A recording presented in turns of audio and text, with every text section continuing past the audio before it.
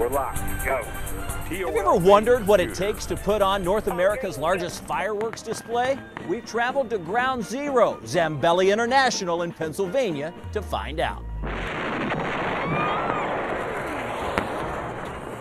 On 250 acres in New Castle, Pennsylvania, there are dozens of these bunkers that are housing explosives and fireworks that will soon become thunder over Louisville.